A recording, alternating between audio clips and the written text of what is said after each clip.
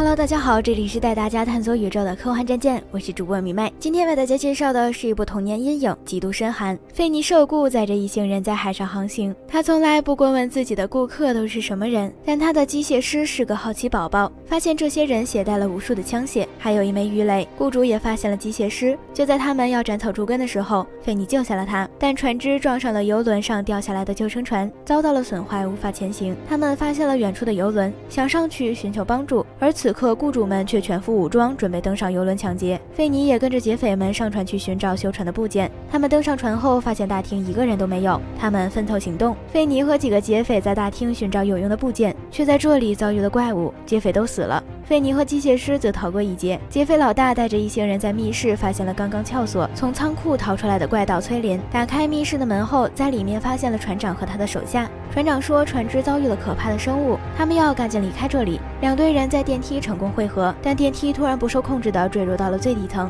他们在这里看到了一地可怕的尸骸。费尼推断出，游轮是游轮老板故意损坏船身设备，串通劫匪骗保。船长得知这个事实，非常的愤怒。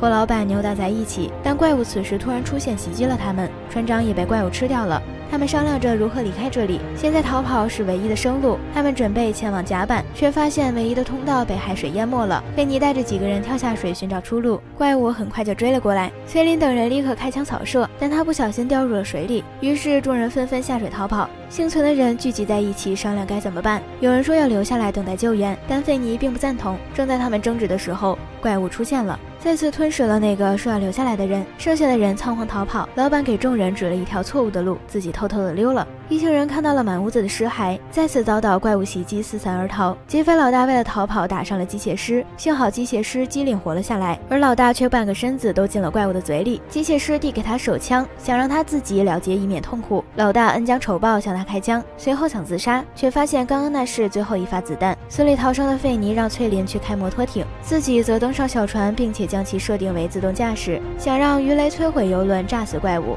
寻找钥匙的翠林遭到了老板的狙击。千钧一发之际，费尼开枪赶走了老板，但更可怕的怪物出现了，一只巨大的章鱼哥。费尼被怪物的触手抓起，他趁机打爆了怪物的眼球，成功的带着翠林骑着摩托艇逃走。老板则从游轮上跳下了小船，然而小船已经被设定为自动驾驶，飞速的驶向游轮，成功的炸死了怪物。翠林和费尼逃到了荒岛上，和从海上飘过来的机械师汇合了。正当他们庆幸的时候，岛上传来了更可怕的叫声。电影非常的血腥，完全就是童年阴影，吓得我都不敢上厕所。如果你热衷于恐怖片，这一定是不错的选择。好啦，今天的电影就介绍到这里了。如果你点赞、关注、转发的话，我就陪你一起看恐怖片哦。科幻战舰带你看尽各种精彩科幻电影，下期见啦！